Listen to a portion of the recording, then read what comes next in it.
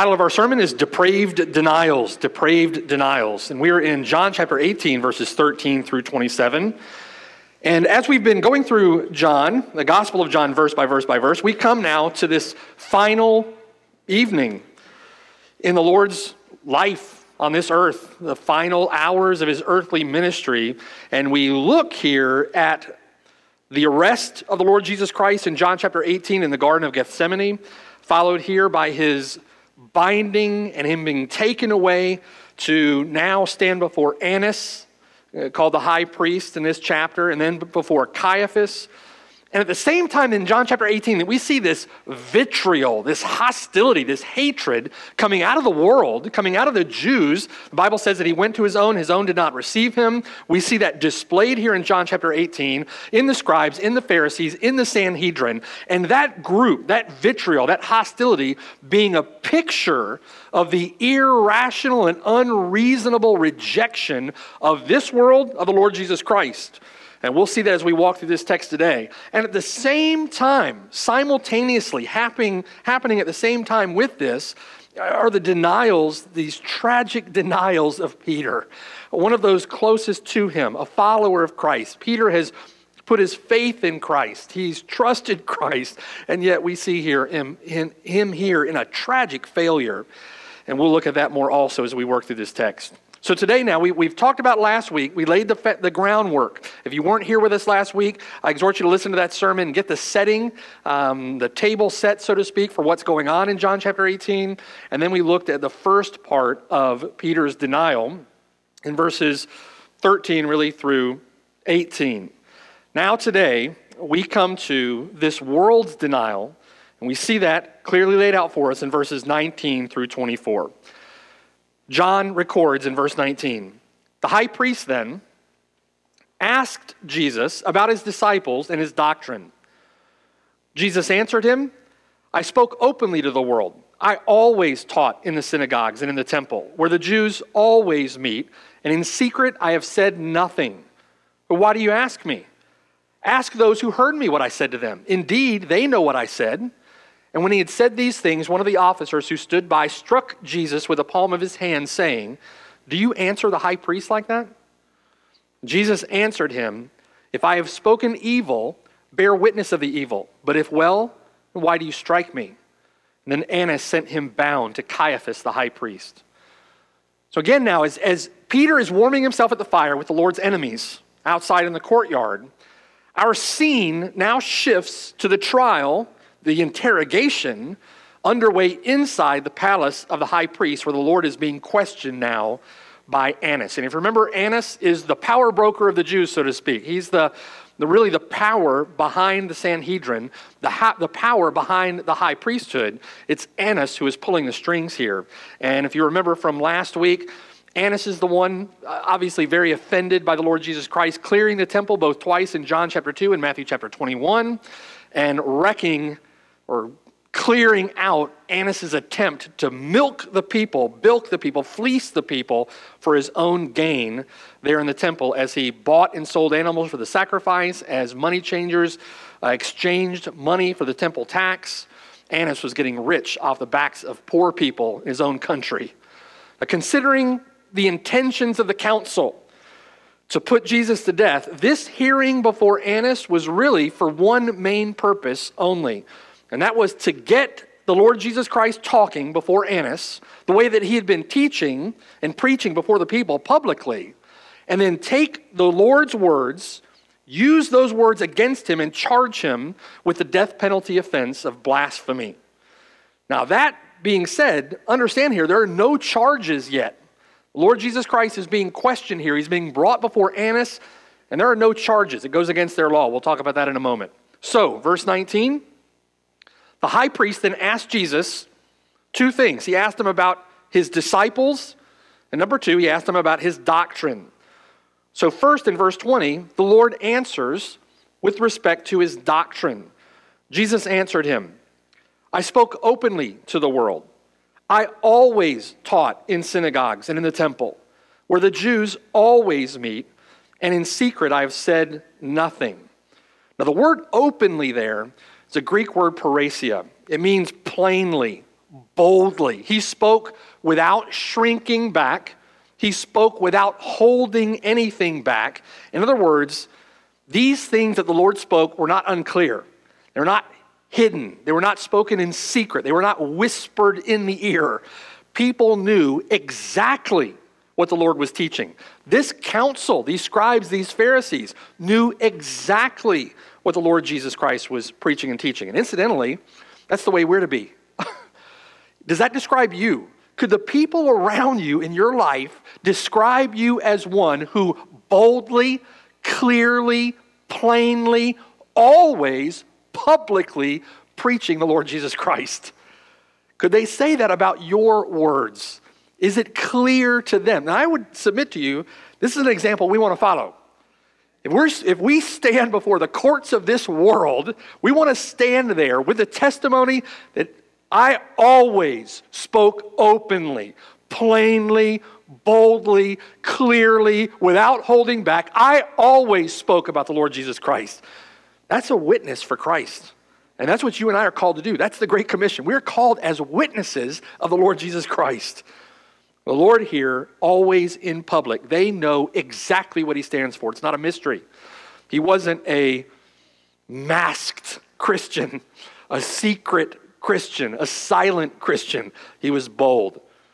Now, first, here in the Lord's answer in verse 20, the Lord's exposing here with Annas the hidden purpose behind his question. And that's obvious in the proceedings here himself, this hidden purpose of Annas, this hidden person behind this travesty of justice that's going on here. They want to trap the Lord Jesus Christ in his words, and they want to charge him, and they want to charge him with a death penalty offense. They have every intention to kill him. Jesus here is being asked to answer charges before charges have been filed. He's being arraigned before he's being indicted, right? He's being brought to answer charges before any charges have been formally brought. Next, the Lord answers with respect to his disciples, then, in verse 21. Verse 21 Why do you ask me? Ask those who've heard me what I said to them. Indeed, they know what I said. In Jewish law, Jesus Christ was under no obligation to testify against himself. And Annas was trying to get Jesus Christ to incriminate himself with his own words. And he was looking for grounds to charge him. This was a shameful injustice. He wants Jesus to incriminate himself. Now, the officer standing by in verse 22 felt the weight of the Lord's responses and the shame and the embarrassment that that placed on Annas. This is this is a, a ridiculous trial, an absurd event going on here. And the Lord Jesus Christ, in how he's answering, he's answering very directly, very boldly, very straightforwardly. He knows what Annas is up to, he knows what this is all about. And so the Lord is directing things here. And this is not the way that you would expect an accused person necessarily to respond to Annas the high priest. But the Lord is directing events here. And this officer standing by probably felt the weight of that shame that was being heaped upon Annas. And so in verse 22, when he had said these things, one of the officers who stood by struck Jesus with the palm of his hand, saying, Do you answer the high priest like that? Remember, Jesus is bound. He's got his hands behind his back, and this coward strikes him while he's bound there before the high priest. Now, Jesus Christ, verse 23, remaining completely composed, answers him calmly If I have spoken evil, and bear witness of the evil, but if well, then why do you strike me? They certainly had no right to strike him. No right to do that. You know, we need to think about this legal system in first century Judaism as very similar to our own. Many of our own laws written based upon their laws, based upon uh, Judeo-centric legal proceeding, legal tradition. Here they had no right to strike him. They had no right to hold him. They had no right to charge him. They had no right to question him. And they certainly had no right to try him. And not getting anywhere here with the Lord Jesus Christ, and very likely shamed by the way the Lord was answering these questions in front of the people who stood around listening, the Lord being very bold, very direct. Verse 24 Annas finally sent him bound to Caiaphas, the high priest. Now, while Annas had been dealing with Jesus, Caiaphas had been assembling a nighttime meeting of the Sanhedrin. And what follows, as recorded in the Synoptic Gospels, this so called Jewish trial of the Lord Jesus Christ, is a travesty of justice from the very beginning. All right? It's important to understand that even by Jewish standards in the first century, this was an illegal trial, a lawless trial. The verdict, for one, has already been cast. Flip back to John chapter 11. John chapter 11. The verdict's already been determined. Sentencing really has already taken place before the arrest is even made. John chapter 11, look at verse 49. And let's remind ourselves of this. Mind you, this is the ruling council of the Sanhedrin meeting under the leadership of Annas and Caiaphas, and they've already determined to put him to death. Look at verse 49. One of them, Caiaphas, being high priest that year, said to them, You know nothing at all, nor do you consider that it is expedient for us that one man should die for the people, and not that the whole nation should perish. Now, this he did not say on his own authority, but being high priest that year, he prophesied that Jesus would die for the nation. And not for that nation only, but also that he would gather together in one the children of God who were scattered abroad. Then from that day on, they plotted. Who is this? These are the same people who are going to be hearing his case. This is the ruling council, the Sanhedrin, the chief priests, the scribes, the Pharisees. They plotted, verse 53, to put him to death. Therefore, Jesus no longer walked openly among the Jews, go figure, but went from there into the country near the wilderness to a city called Ephraim, and there he remained with his disciples. They were plotting to put him to death. They weren't plotting to put him through a fair trial. They weren't plotting to hear from witnesses to determine innocence or guilt.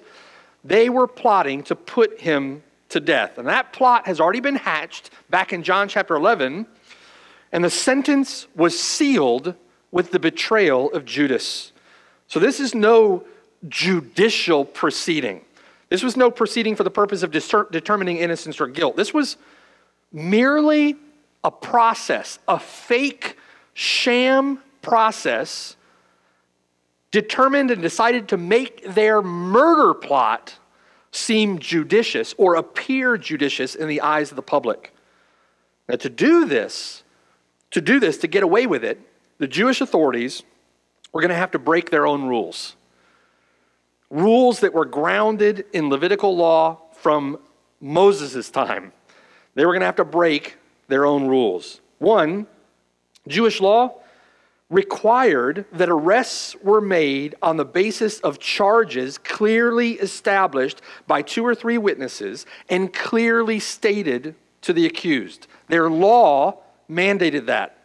Jesus was denied that right under their law and was arrest, arrested based solely on the witness of one who had been bribed by the very people who would be involved in hearing the case. In fact, False witness after false witness after false witness, bribed, came forward, brought to testify against him at the so called trial. The Lord had instructed Moses in Deuteronomy chapter 16, verse 18. The Lord said, You shall appoint judges and officers in all your gates, which the Lord your God gives you according to your tribes, and they shall judge the people with a just judgment. You shall not pervert justice. You shall not show partiality, nor take a bribe, for a bribe blinds the eyes of the wise and twists the words of the righteous. You shall follow what is altogether just. So these gnat strainers with the law, breaking these laws that were set up from them by Moses all the way back in Deuteronomy. They're ignoring these. Jewish law required that all capital cases, death penalty cases, be tried during the day. They were to be tried during the day. The accused was entitled to a public trial, and the public trial was for the sake of oversight. Make sure that the trial was conducted fairly. The council, the Sanhedrin, required to fast a full day between the sentencing and the execution to further deliberate before someone was put to death. And the Lord here would be tried and sentenced to death before the sun even comes up the next morning and would be murdered before the sun goes down on the same day. Now, Jewish law required the proceedings of a capital trial to last a minimum of two days, and never during Passover, never before a feast, never during the week of the feast, and they broke all of those rules, all of those laws. And it was never to be on the Sabbath. The Sabbath was the very next day. And so they had to wrap this up quickly.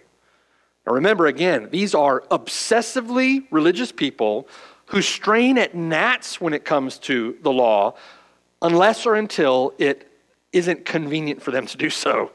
And they take matters into their own hands. Uh, these are the same people who would rake you over the coals if you ate grain with unwashed hands, right? Jewish law required that the accused was to be considered innocent until proven guilty. That sounds familiar, doesn't it? Contrary to Jewish law, no testimony for the accused was permitted or even sought. Jesus didn't have a single witness. In fact, contrary to Jewish law, Jesus was directly questioned and essentially asked to testify against himself. No charges, under Jewish law, no charges could be brought by any council member, any member of the Sanhedrin. They couldn't bring charges themselves. Themselves, if a council member charged the accused, then it was determined that the entire council would be disqualified from hearing the case. The council, by Jewish law, wasn't allowed to bring the charges. According to the Jewish law, the trial of a capital case required overwhelming evidence of guilt and an overwhelming verdict. However, thinking about an overwhelming testimony of guilt or an overwhelming verdict, Jewish legal rules looked suspiciously at unanimous verdicts. And they did that because they were considered evidence of a biased court or they were considered evidence of mob rule. And so, if a verdict ever came back unanimous, they would go into further deliberation and further deliberation to make sure that it wasn't evidence of a biased court or mob rule. Uh, Jesus, by the way, was convicted, convicted and sentenced to death by a unanimous vote in a matter of hours.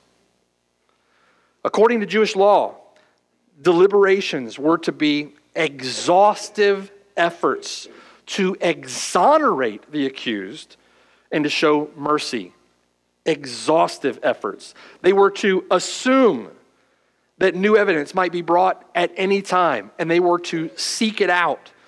They were even required to consider evidence between the verdict and the sentencing, and between the sentencing and the execution. And they did none of this. Now, get the picture with me, right? There's no trial here.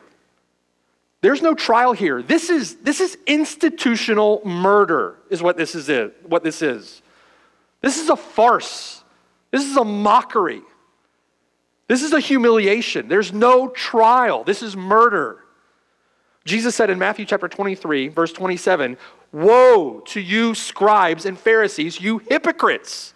For you are like whitewashed tombs, which indeed appear beautiful outwardly but inside are full of dead men's bones and all uncleanness. Even so, you also outwardly appear righteous to men, but inside you are full of hypocrisy and lawlessness. Don't we see that in this proceeding? Look back at Matthew chapter 26 with me. Matthew chapter 26. This is godlessness. This is lawlessness, rank injustice institutional murder. Matthew chapter 26. And look at Matthew's account of this wicked trial as the Lord is taken from Annas to Caiaphas. Verse 59. Now the chief priests, the elders, and all the council, and again, the Sanhedrin made up of 70 members, including the high priest, 71 all the council, the chief priests, the elders, and all the council sought false testimony against Jesus. They were looking for false testimony. And that it says there in verse 59 in order to put him to death. They were doing this for the purpose of putting him to death. They had decided, the die was cast. Verse 60, but they found none. This is no trial. This is no trial. It's interesting in verse 60 even though many false witnesses came forward, they found none. Now, think about that with me. Matthew chapter 26. They were looking, they were seeking out false testimony. And in seeking out false testimony, they had many false witnesses that came forward. Many. Now, those false witnesses weren't confessing Jesus Christ as the Messiah. They were all saying that he was a false prophet, a false Christ, a false Messiah. But they found none with testimonies that would stick against him. None with truth. In fact, their testimonies were inconsistent, incongruous. They didn't line up, they didn't match up. They found no credible false witnesses, although there were many false witnesses that came forward. This is the injustice, the unreasonableness, the irrationality of this world against Christianity and against Christians, against the Lord's church. Though many false witnesses come, they don't come with any evidence. Because evidence against God's people, those false witnesses, that false testimony doesn't stick. Doesn't stick. Many today, many today, professing Christians evil, even evil, many today will evil contend condemn one for far less or far below the standard even used here in this particular trial. They don't seek the truth. Many false witnesses came forward. They found none, but at last, two false witnesses came forward, verse 61, and said, This fellow said, I'm able to de- destroy the temple of God and to build it in three days. Now, if you remember that when this happened, the Lord Jesus Christ said this, explained this in John chapter 2. So in, at Passover in John chapter 2, three years to the day that this is going on, three years ago, Jesus had taught this, had said this in the temple, and these false witnesses remember. He taught publicly, he taught clearly, right? They knew what he taught, they knew what he was saying. And so these guys come forward three years after the Lord said this in John chapter 2 and said, I am able to destroy this temple of God and build it in three days. The high priest arose and said to him, verse 62, do you answer nothing? What is it these men testify against you? Verse 63 But Jesus kept silent. And the high priest answered and said to him, I put you under oath by the living God. Tell us if you are the Christ, the Son of God. And Jesus said to him, verse 64, You said it. You said it, right? Nevertheless, I say to you, hereafter you will see the Son of Man sitting at the right hand of the power and coming on the clouds of heaven. Then the high priest, verse 65, the high priest tore his clothes. By the way, it was illegal for the high priest to tear his clothes. This was a, uh, an absurd you know, notion of indignance at what Jesus Christ said. It was a big act. It was a big act. It was unlawful. Leviticus chapter 21 10, unlawful for the high priest to tear his clothes. But the high priest here tore his clothes, saying, He has spoken blasphemy. What further need do we have of witnesses? In other words, we're just going to take care of this thing right now. No witnesses are necessary. Never considered that what the Lord Jesus Christ was saying was true. Never considered the overwhelming evidence that he is the Christ, the Son of God. Didn't consider any of that. Look now, you've heard his blasphemy. What do you think? Verse 66. They answered, the chief priests, the elders, all the council answered and said, He is deserving of death. No one there to speak in his defense. Overwhelming evidence of his claim was rejected, wasn't even considered. No reasonable voice raised in the council. No caution taken, no call for mercy, no call just to simply follow their own rules. Instead, verse 67 they spat in his face and they beat him. And others struck him with the palms of their hands, saying, Prophesy to us, Christ, who is the one who struck you? Mocking him. That mocking, that humiliation, the cruelty involved, certainly a violation of their law. This is institutional hate. Jesus is struck back in John 18. He is spat upon, beaten, and struck in Matthew chapter 26. The Lord is bound. And again, these prideful, posturing cowards strike him. So, what's the Lord's response? What's the Lord's response? Isaiah 53 7, incidentally written 600 years before these things took place. Isaiah described him as he was oppressed and he was afflicted, yet he opened not his mouth. He was led as a lamb to the slaughter, and as a sheep before its shears is silent, so he opened not his mouth. And what the Lord told Peter in Matthew chapter 26, verse 53, still holds true here. He could call, if he wanted to, more than 12 legions of angels to his aid. He could call fire down from heaven and consume them with a word of his power. But the Lord here, instead, he humbles himself. He submits himself to this absurd treatment by wicked, godless people. And the captain of our salvation is made perfect through sufferings, right? Our merciful and faithful high priest in things pertaining to God. Look with me at Mark chapter 14. Mark chapter 14. We're just getting our bearings straight with respect to this trial, so called trial, and considering, based on the evidence, what is really going on here. Mark chapter 14. And look down at verse 55. Again, we see a lot of similarities here. In verse 55, the chief priests and all the council, they sought testimony against Jesus in order to put him to death, but they found none. Verse 56 For many, although the ranks of false witnesses may swell, where is the evidence? Right? Where is the evidence?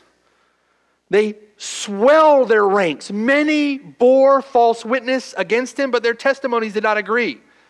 They all agreed he was not the Messiah. They all agreed that they would bear false witness against him, but their testimonies against him didn't agree. There was no factual evidence to back up their claims. They just bore false witness against him. Verse 57 Then some rose up and bore, bore false witness against him, saying, We heard him say, I'll destroy this temple made with hands, and within three days I will build another made without hands. But not even then did their testimony agree, right? Because it's not based on facts. There is no evidence. And so the high priest, verse 60, stood up in the midst and asked Jesus, saying, Do you answer nothing? What is it these men testify against you? But he kept silent and answered nothing. Again, the high priest asked him. We know from Matthew that he asked him under oath, right? Saying to him, Are you the Christ, the Son of the Blessed? And Jesus said, I am. And we've seen that term, that title, that phrase used before, and we've explained that before. Jesus said, I am, verse 62, and you will see the Son of Man sitting at the right hand of the power and coming with the clouds of heaven. And then the, the high priest, sanctimoniously, he tore his clothes and he said, What further need do we have of witnesses? You've heard the blasphemy. What do you think? He asked the council to render a verdict. And they all condemned him to be deserving of death. And then some began to spit on him and to blindfold him and to beat him and to say to him, Prophesy. And the officers struck him with the palms of their hands. Luke adds in chapter 22, verse 70, that they all said, Are you then the Son of God? So he said to them, You rightly say that I am. And they said, What further testimony do we need? For we've heard it ourselves from his own mouth. This is no trial. This is no trial. This is murder. They simply want him dead. They want him dead. They want him gone. This is not an impartial court. This farce is conducted for the sole purpose of condemning and killing an innocent man. A brazenly depraved denial of the person and work of the Lord Jesus Christ. Now, lest we fail to understand this, from God's perspective, all this is going exactly according to plan, exactly according to purpose. The Lord is humbling himself, humbly submitting himself to that plan. And all the while, all the while, these wicked Jewish leaders are filling up their measure of their guilt. Jesus again from Matthew chapter 23, verse 29. Woe to you, scribes and Pharisees, hypocrites! Because you build the tombs of the prophets and adorn the monuments of the righteous, and you say to yourselves, right?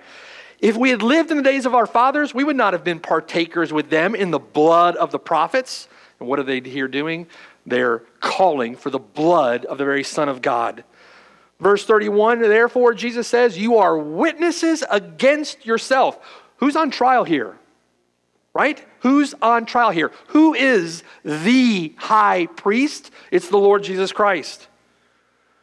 Therefore, you are witnesses against yourselves that you are sons of those who murdered the prophets. Fill up then the measure of your father's guilt. Serpents, brood of vipers, how can you escape the condemnation of hell?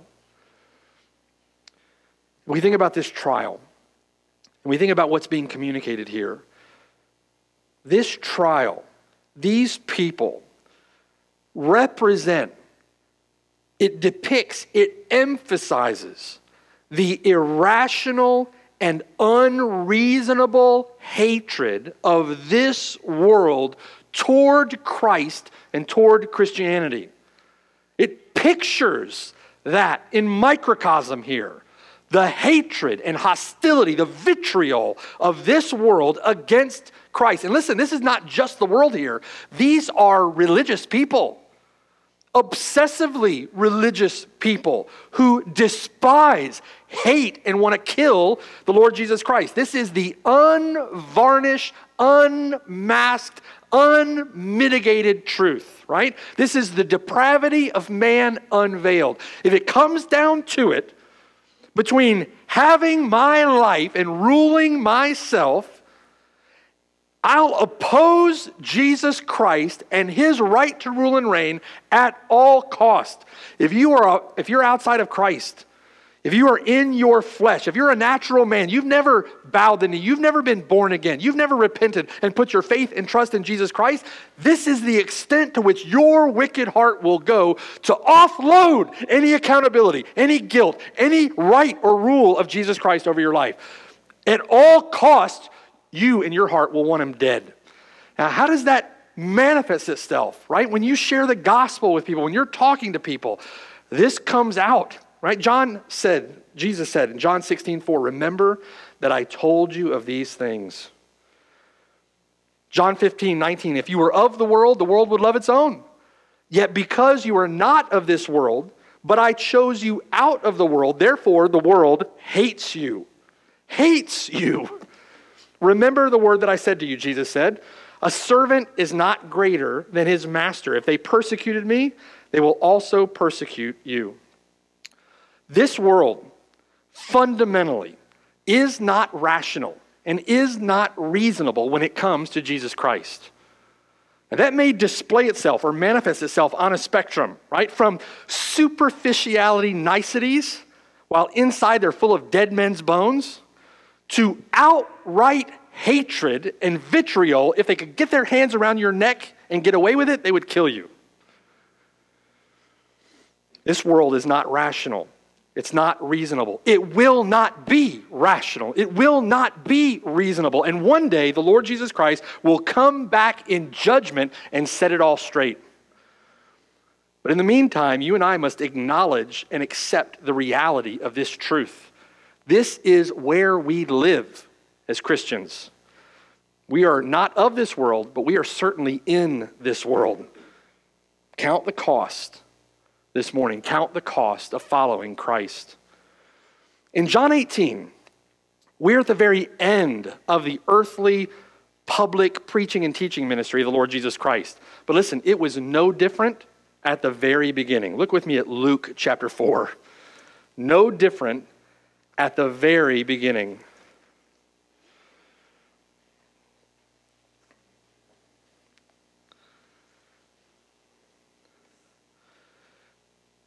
I know many of you, like me, have taken a turn, spent some time in the Bible Belt or around quote unquote Christian people that just want to flame up their barbecue pits on Sunday afternoon and watch the game and just enjoy life and just some of the sweetest people that you'll meet.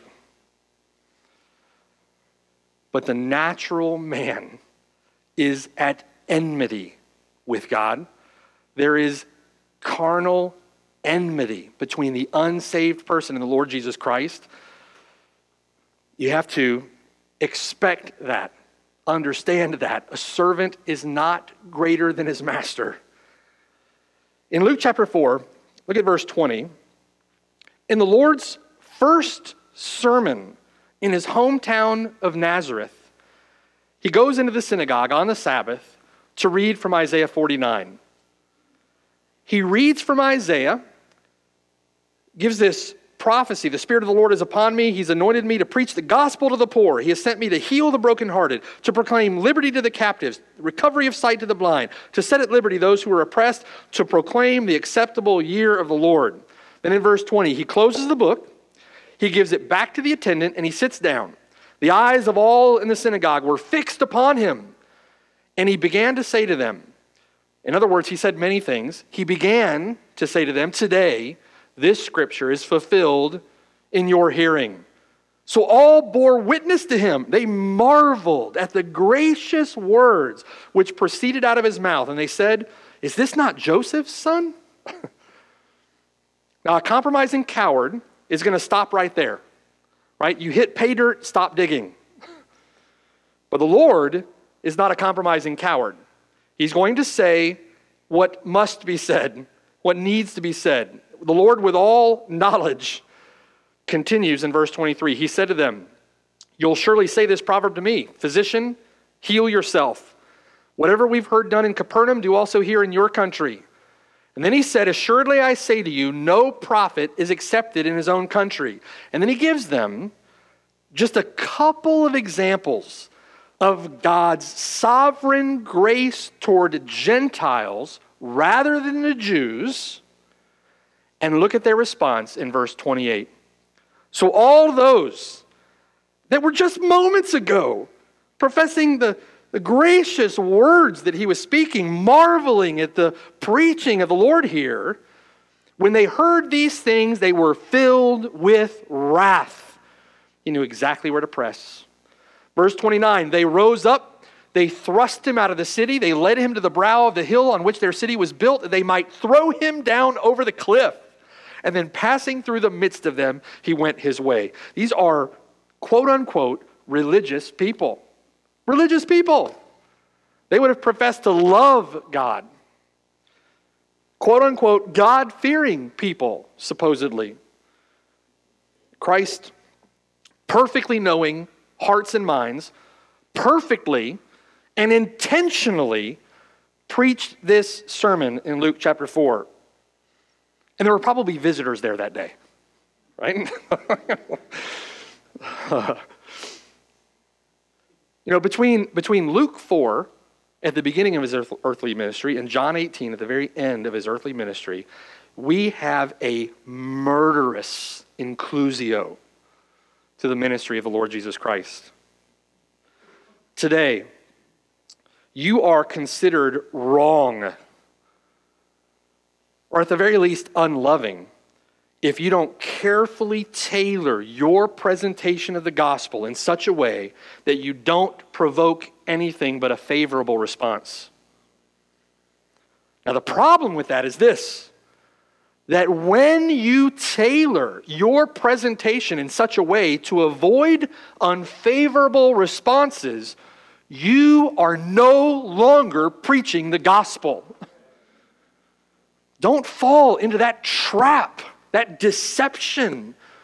That is of the enemy. That thinking, that philosophy is worldly, sensual, and demonic. Like our Lord, you must be willing to say and to do what must be said and done for the glory of God and for the salvation of souls. You are called upon to do that.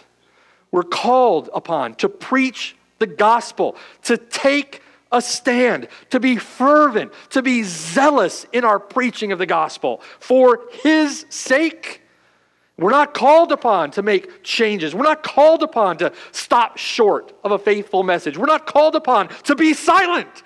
This world wants to shove your Christianity underground. It wants to put you in a closet. It wants to stop your mouth. And they may do it with niceties, right? They may do it saying that eh, there's a more loving way to do that. And maybe you should just, you know, listen, believe in God, but don't preach Him. Believe the gospel, don't preach it. Go to church, but don't bring that stuff to work. Jesus said in John chapter 7, verse 7, that this world hates him because he testifies of it that its works are evil. So, what does this world want you to stop doing then? This world wants you to stop testifying of it that its works are evil. What must you do to preach the gospel? You must testify of it that its works are evil. We live in a wicked and perverse generation. When we use the word world, mind you, right? Know that that also includes a vast, innumerable mass of professing so called Christians that side with the world. Quote unquote, religious people. And some of the worst of those are professing Christians who will side with the wicked all day long to silence your preaching of the gospel. If they profess to be a Christian, right, they want a nominal Christianity that is compatible with the way that they live their life, which is unchristian. And they get that. They get that in part by silencing you, by silencing me.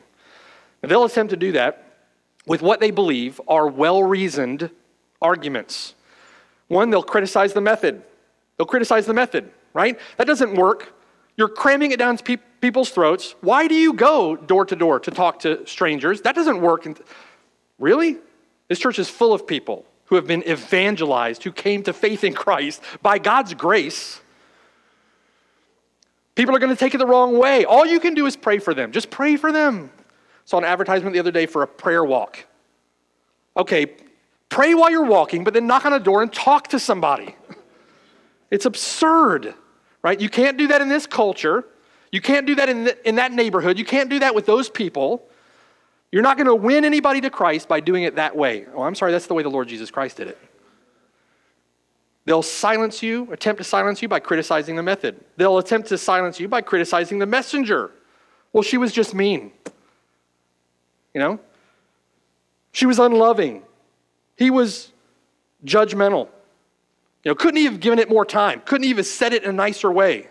Right? Family member comes, somebody shares the gospel with him, that hard hearted rebel gets offended with someone who shares, lovingly shares the gospel with them, all of a sudden they don't want to come back, and it's that Christian's fault. It's their fault. No, it's that hard hearted, unrepentant rebel. That's this world. That's the way that this world responds to the gospel. He doesn't know me and he had this conversation with me about my soul, yes, that's right. Because your soul is in peril and you're going to go to hell unless you turn from your sin and trust Christ. That church is a cult. I'll never go back. They'll criticize the messenger, they'll criticize the message. Listen, you need to stick to grace and love. Grace and love. Don't talk about sin. Don't talk about judgment. Don't talk about obedience. Don't talk about wrath. I don't believe that's what the Bible teaches at all. My God would never do that, would never say that. That's just your interpretation. Besides, nobody's perfect. Right? They'll criticize the message. This world, this world is and will and will continue to rail against your faithfulness to the Lord. That's this world. But remember, you and I, we we must be fervent and faithful and zealous in our obedience to God in these things because not only do you have the world that will rail against your faithfulness to the Lord, you have the accuser of the brethren whispering in your ear. You know, that, that Christian will, you know, was I as kind as I could have been? Was I as loving as I could have been? Could I have said that any differently? And those are all, those are all good thoughts. You know, to be faithful, we need to be thinking that way. How can I most faithfully, most accurately, most lovingly represent my Lord with the gospel to lost people? You have the accuser of the brethren whispering in your ear, listen, those things don't work. When's the last time you've seen somebody come to faith through your preaching, through your teaching, through your door to door evangelism? When have you even run across a soft hearted person? When was the last time you? Maybe it is the way that maybe you don't need to say anything at all. Listen, you're in sin. You've got your own sin to deal with. How can you stand there and preach this? Right? Right? The accuser of the brethren. But then on top of this world, the accuser of the brethren, you've got so called Christians who will shame you into silence, attempt to shame you into silence. And then you have an enemy in your own breast that would deceive you with a fear of man, deceive you with your own pride, would seek to silence your witness for Christ. You sense the pressure, don't you? Sometimes the, the temptation to shrink back is great. There's so much temptation, so much pressure.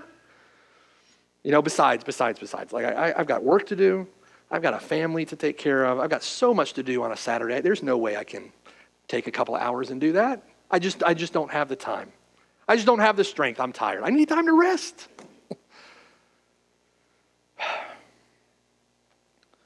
The temptation is to stop short of a faithful message. The temptation is to change the message. The temptation is to keep the message to yourself. You're like one who hoards treasure to yourself. Go to church, but don't talk about it. Believe the gospel, don't preach it. Be a Christian, leave your Christianity at home. And when those efforts, listen, when those efforts don't work, or when you cross some self justifying, self righteous boundary that they've erected around their heart, they will persecute you. A servant is not greater than his master. If the world hated him, it's going to hate you also. They will mock you, they will attempt to shame you, they will attack your reputation, they will tear you down in the eyes of others, right? They will fire you from your job. They'll take you to court. They will change laws to work against you. They will legislate their own ideas of how they think things ought to be. And if they thought they could get away with it, they would have you arrested or even killed. There have been times in history when they could get away with it, and they did. And those men, those women that took a stand for the Lord, many of them went to the stake for their faith in Christ. We cannot be silent. We cannot be faithless. We cannot be disobedient. At this time, in our history where we still have the ability in this country to preach Christ, for the Lord's sake, preach Christ. And if you're here today and you profess to be a Christian, then make sure you're fighting on the right side of that battle and not fighting other Christians who are trying to preach the gospel be faithful and love the Lord and love souls and want to see people saved and in heaven. Get off your couch, right? Get off that padding that's on your rear end and serve the Lord. Be faithful. Blessed are you when they revile you and persecute you and say all kinds of evil against you falsely for my sake. This is from one who was crucified and raised. Rejoice and be exceedingly glad, for great is your reward in heaven for so they persecuted the prophets who were before you.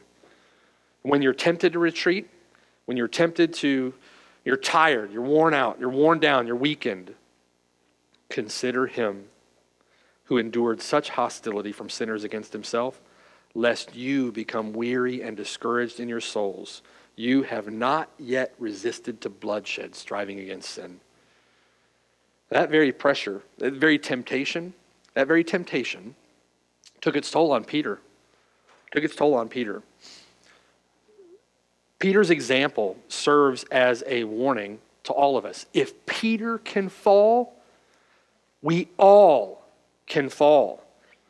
You must rely upon the Lord Jesus Christ by faith, for apart from him, you can do nothing. Back in John chapter 18.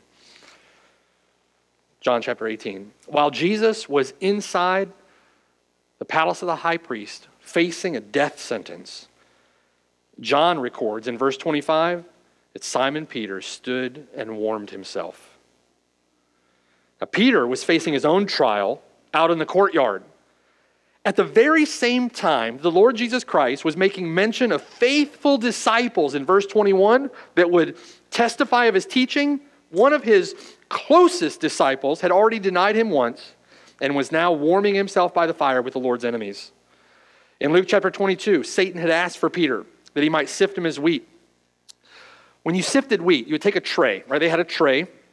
They would fill the tray with grain, and they would toss the wheat, the grain, into the air, right? And as the heavy kernels of grain would fall back into the tray, that light, wispy chaff that was worthless would be blown away in the wind. That was sifting. Now that applied here to Peter, that tossing, that repeatedly, that was painful to Peter. He was tossed into the wind, being stripped of his prideful chaff, exceedingly painful to Peter, exceedingly necessary. God allows Peter to be tried like this. Lord Jesus Christ prays that his faith will remain, and it's the Lord Jesus Christ who preserves him. But God allows Peter to be tried like this. He goes on, verse 25 Simon Peter stood and warmed himself. Therefore, they said to him, You're not also one of his disciples, are you? So Peter denied it and said, I am not. Matthew 26 adds that, that Peter denied it with an oath. In other words, he called down God, so to speak, as testimony or to testify of the truthfulness of his statement when he denies the Lord Jesus Christ. Denied it with an oath. So in verse 26, one of the servants of the high priest, a relative of him whose ear Peter cut off, said, Did I not see you in the garden with him? So at this ramping up of incriminating evidence against him, Peter ramps up his defense. Matthew says that he begins to curse and to swear. And then in verse 27, Peter then denied again, and immediately a rooster crowed. Complete failure on the part of Peter when he was put to the test. We get a little more insight from Luke's account in Luke 22. Turn with me to Luke 22 quickly.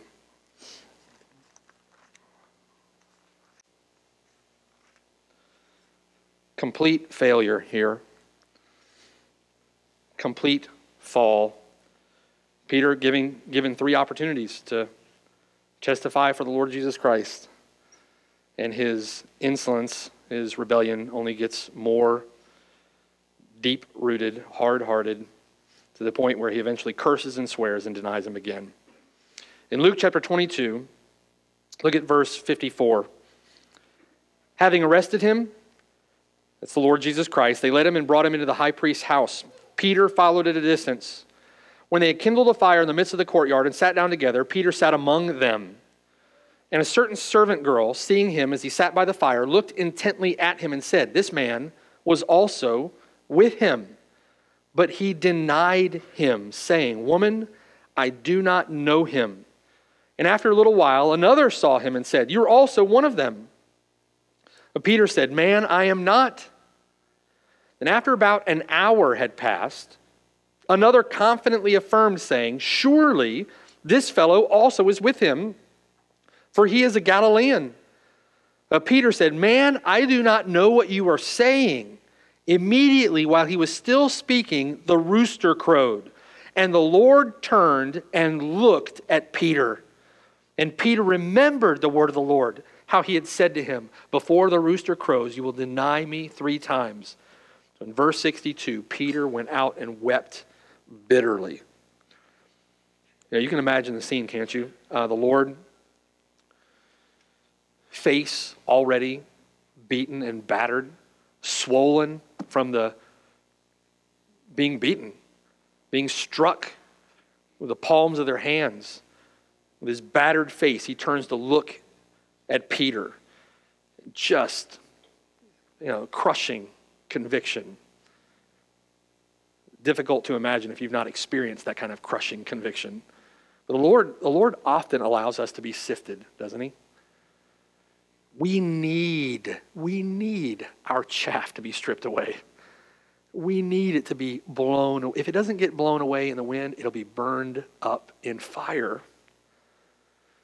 We need the chaff of self reliance stripped away. We must entrust ourselves completely to Him, rely upon Him, trust in Him. We need our faith to be matured, we need our faith to be refined in the fire.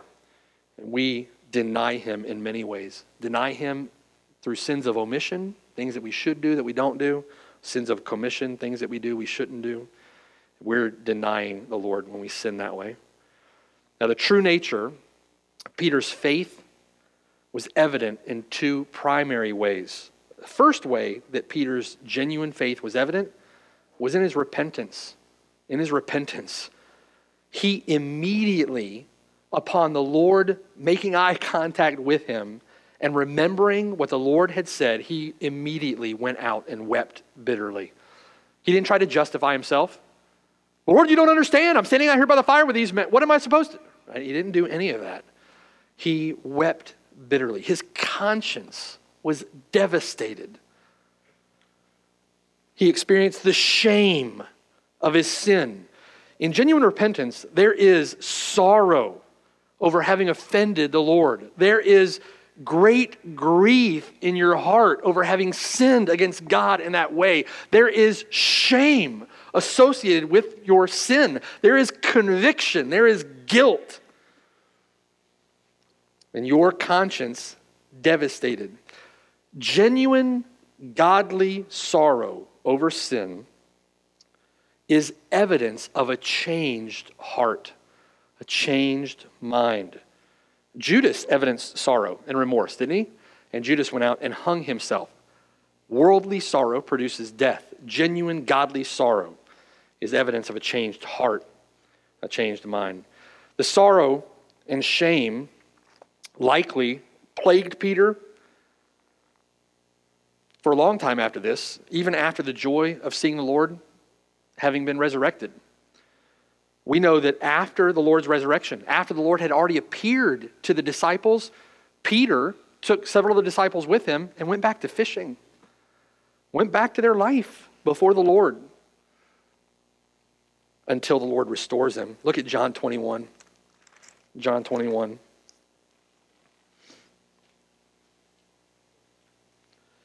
In John 21, Peter knows it's the Lord standing on the, on the beach, so he leaps out of the boat. He swims to shore. The Lord and the disciples have breakfast together. And then in verse 15, when they had eaten breakfast, Jesus said to Simon Peter, Simon, son of Jonah, do you love me more than these? He said to him, Yes, Lord, you know that I love you. He said to him, Feed my lambs. So he said to him again a second time, Simon, son of Jonah, do you love me? He said to him, Yes, Lord, you know that I love you. So he said to him, Tend my sheep. he said to him the third time, Simon, son of Jonah, do you love me? Peter was grieved because he had said to him the third time, Do you love me? And he said to him, Lord, you know all things. You know that I love you. Three denials from Peter. Three times the Lord questions Peter and Peter's love for the Lord, making a statement with that, right? Jesus said to him, Feed my sheep. Most assuredly, I say to you, when you were younger, you girded yourself and walked where you wished. When you are old, you will stretch out your hands, and another will gird you and carry you where you do not wish. This he spoke, signifying by what death he would glorify God. When he'd spoken this, he said to him, Follow me. The other evidence of Peter's genuine faith was Peter's faithfulness to the Lord. His faithfulness. If Peter can fall, certainly we all can fall. If Peter was tested like this? Certainly. We will all be tested. But this account is much less about the failure and the weakness of Peter and much more about the grace and mercy and forgiveness and persevering power of the Lord Jesus Christ. Peter would be restored. He is restored here.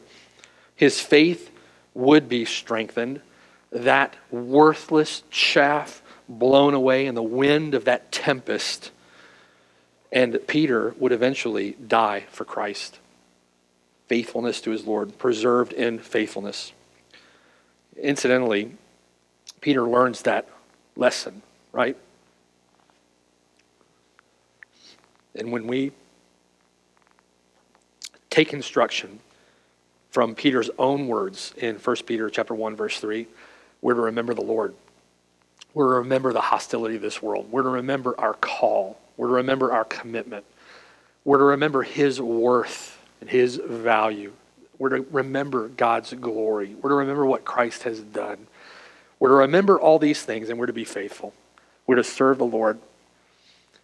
Peter says, Blessed be the God and Father of our Lord Jesus Christ, who according to his abundant mercy has begotten us again to a living hope through the resurrection of Jesus Christ from the dead, to an inheritance incorruptible, undefiled, that does not fade away, reserved in heaven for you who are kept by the power of God through faith for salvation ready to be revealed in the last time. In this, Peter says, you greatly rejoice, though now, for a little while, if need be, you've been grieved by various trials, so that the genuineness of your faith, being much more precious than gold that perishes, though it is tested by fire, may be found to praise, honor, and glory at the revelation of the Lord Jesus Christ. All God's people said, Amen. All praise, honor, and glory be to the one who authors, matures, refines, sustains, and finishes our faith for his glory, for our good. Amen. Let's pray. Father in heaven, Lord, thank you for this time in John 18, this text. Thank you, Lord, for your faithful example. Thank you, Lord, for preparing us for the difficulties that we face in this world. Thank you for the example of Peter. Thank you for your loving, gracious, merciful forgiveness and restoration. Thank you, Lord, that by virtue of Christ's sacrifice on our behalf by virtue of the Spirit having indwelled those who are His own, that we can live lives of faithfulness and usefulness to you, even despite often our many failings. And we pray, Lord, that in your grace and mercy to us, that you would humble us, Lord, that you would blow away that worthless chaff, that you would Preserve us, Lord, in faithfulness. Lord, preserve us in fervency. Preserve us in zeal for your word, for your gospel, for the Lord Jesus Christ. Lord, preserve us as faithful witnesses in this wicked and perverse generation.